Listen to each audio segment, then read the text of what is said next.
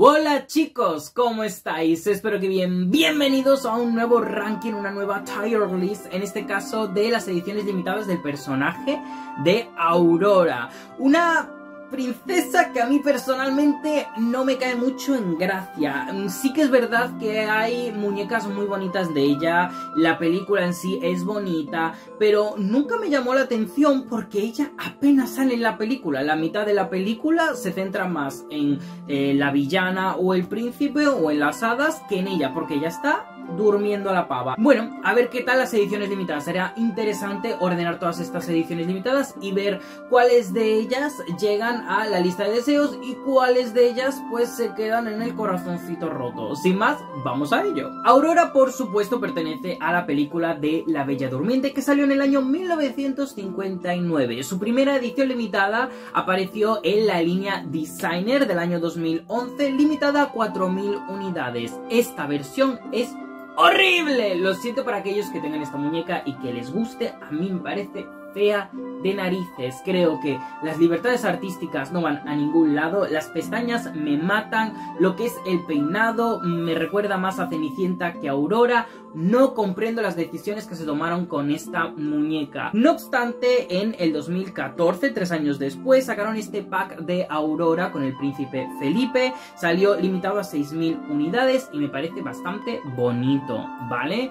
Muy chulo. Aurora se ve bastante bien, lleva como una versión larga y un poquito más romántica del look de la película cuando cantan la canción en el bosque. Y está bien, está bien. No me vuela la cabeza, ¿vale? Como otros packs, sobre todo porque, mm, aunque no lo tengamos en cuenta, pero él mm, sí que se ve bastante sencillito comparado con ella y creo que pudieron añadirle a ella pues una cestita o los pajaritos o incluso el búho con lo que es el chal. Después tuvimos como unas muñecas que, según yo, según yo, venían en un pack. Eh, tenemos las Heirloom Harolds eh, Pink and Blue Aurora 2014, limitadas a 100 unidades. No me queda muy claro si son 100 unidades cada una de ellas o 100 unidades entre las dos.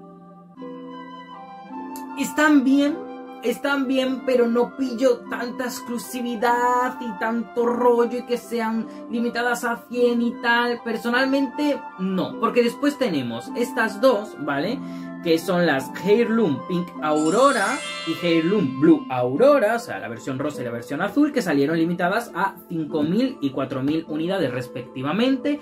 Yo personalmente creo que la Aurora azul es superior mandadme a la cárcel, matadme, pero creo que es superior. Y la aurora rosa yo la voy a dejar en esta parte de aquí. Se ven bonitas, están chulas, no aportan nada del otro mundo porque viene a ser el vestido de aurora, mm, vamos, mm, literal sacado de la película, con algunos bordaditos y algunos brillitos, pero son unas muñecas que cumplen su cometido y es celebrar el personaje de aurora en una edición limitada de Disney. Tenemos esta, que a mí personalmente no me hace mucha gracia. Esta es una muñeca que sacaron por el 60 aniversario de Disneyland, ¿vale? En el 2015 y está limitada a 3.000 unidades. Esto, personalmente, o sea, esta estaría por aquí, por supuesto, pero esta es por innecesarias, esta por fea y esta por, vamos, ese look, ese look. Es que no tiene ni cintura la muñeca. Eh, le han puesto tanto volumen en el, en el torso. Eh, y, el chafón este o el tul este en diferentes colores, es como que ese azul marino choca con el celeste y no, no de forma bonita. Me gusta, ¿vale? Eh, que en la cintura tengamos esta mini capa, ¿vale? O cinturoncito o pieza que tiene los piquitos, pero quitando eso es una muñeca tan sumamente no comprendo las decisiones que tomaron con esta muñeca. Entiendo que no sería tan cara como las otras, pero aún así una decepción teniendo en cuenta el vestido original de Aurora y más teniendo en cuenta que es azul. Siguiendo con el vestido azul tenemos este pack de Aurora con Maléfica imitando esa escena donde Aurora se pincha con la rueca. Me hubiera encantado que esta Aurora tuviera una capita como tiene en la escena de la película para añadirle un elemento más que le diera o le aportara un extra de especialidad a lo que es esta edición. Aún así me parece sumamente bonita, me gusta más que, que la escena del bosque, esta escena es muy bonita y me gusta muchísimo el detalle de que a esta Aurora la ves con la mirada como perdida, como hechizada, justo como sale en esa escena de la película, ¿no? Esta edición de Aurora y Maléfica salió en el 2016, limitada a 6.000 unidades. Seguimos con otra que a mí tampoco me gusta mucho. Sacaron como una especie de colección que creo que solo tuvieron dos ediciones, una de Aurora y otra de Ariel. La Disney Diamond Castle Collection, o sea, como el castillo de diamantes de Disney o algo así. Salió en el 2018, limitada a 6.000 unidades y personalmente es mejor que esta. No es una mala edición, pero se queda en... pues ahí está. No es fea, pero es una muñeca súper básica. Ya veremos en el siguiente ranking, que es el de Ariel, ya veremos que su edición sí que aporta algo nuevo en lo que es el diseño esta simplemente es una muñeca como otra cualquiera que le han puesto un título y ya está. Seguimos con una que estaba del tirón a la lista de deseos y yo creo que va a ser la única que llegue a ese punto spoiler. Pero esta versión que han llamado Briar Rose Aurora, o sea, Rosita para los hispanohablantes, ¿vale? Que salió en 2019 limitada a 4.500 unidades, esta la quiero. Aurora, como digo, no es mi princesa favorita, ni mucho menos, pero es que esta edición es perfecta y me pasa lo mismo que me pasaba con Blancanieves cuando salía de Pordiosera o eh, Cenicienta cuando salía de Chacha. Esta versión campesina de Aurora o de Rosita es tan bonita, tan chula, me encanta la cestita, me encanta el pajarito, me encanta cómo han hecho esas dos capas en la falda, con el encaje, con el vivito, con los bordados, con los Oh, es que el corsé es preciosa, es muy bonita y yo creo que para mí es la mejor muñeca de edición limitada que han sacado de la Aurora de lejos, de lejos.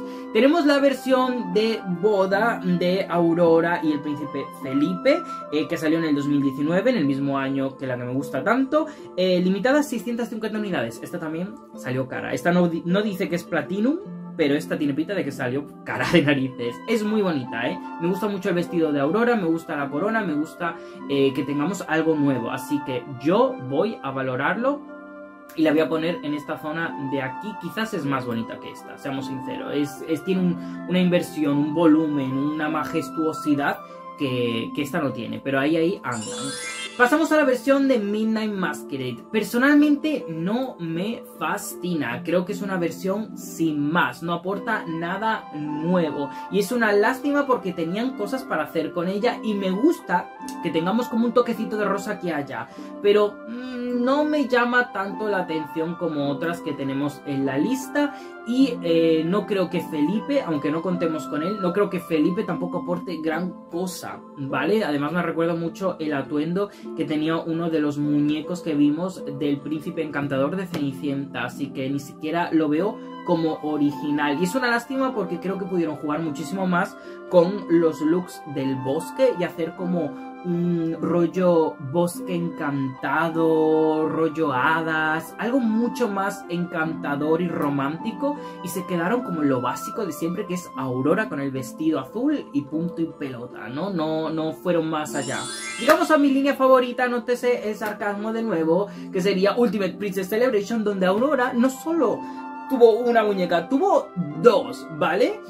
Es difícil el opinar sobre estas muñecas, la verdad. Creo que esta de aquí mmm, no me gusta, ¿vale? Es que no es fea. El problema es que no es fea. A ver.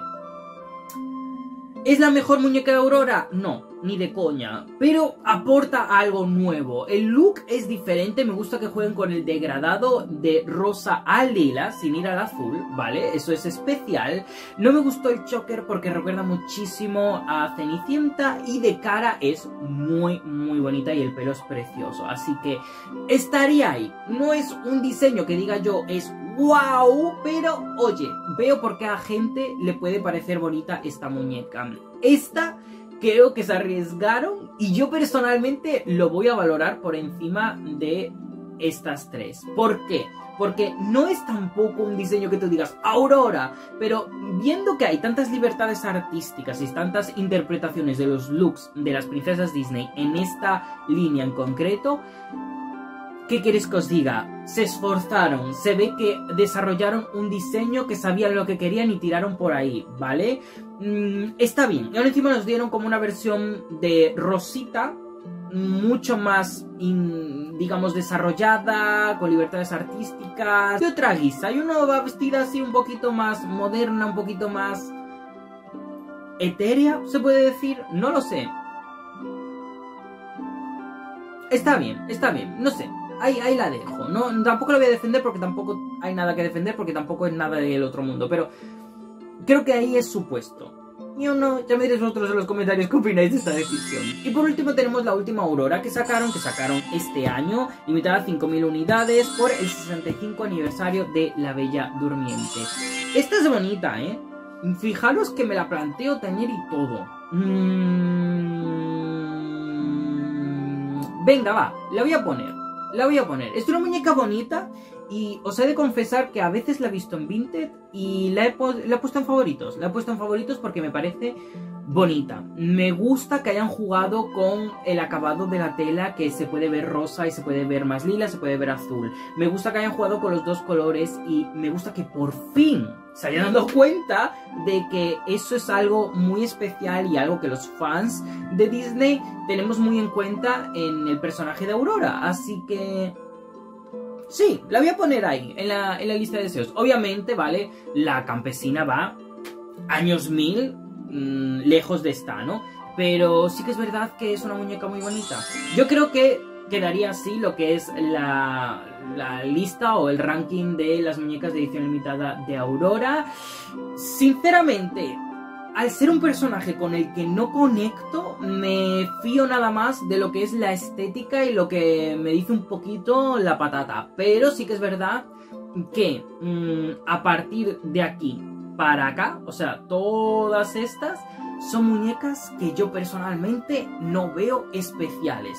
Se hace porque el personaje no me atrae o se hace porque el estilo o el camino que toman con los diseños de Aurora no creo que sea el más correcto. Creo que estos diseños mm, tienen un diseño mejor encaminado, ¿no? Y tienen como una idea que se desarrolla mejor teniendo en cuenta la referencia de los atuendos de la película. Así que esa sería mi lista ordenada, organizada, mi ranking de las ediciones limitadas que ha sacado Disney del personaje de Aurora. A mí me gustaría rápidamente agradecer a todos mis patrones y a los miembros del canal porque gracias a ellos este y muchísimos otros vídeos son posibles. En especial me gustaría mandar un beso muy fuerte, un abrazo bien crujiente a Dancito, Paula Alonso, Pepe Silverstone,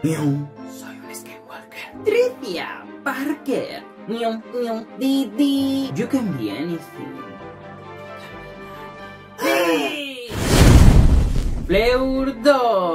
Ser los icónicos de este mes. Muchísimas gracias a todos y cada uno de vosotros. Nada más chicos, como siempre recordaros que en la descripción os dejo el link por si vosotros queréis hacer este ranking. Si os ha gustado el vídeo, darle manita arriba, comentadme aquí abajo qué os ha parecido este ranking y cómo lo haríais vosotros. Y suscribiros al canal para ver muchísimos más vídeos sobre este mundo de las muñecas. Yo me despido, os mando un fuerte beso, un fuerte y crujiente abrazo y os recuerdo, como siempre hago, que en tu colección Tú tienes la corona.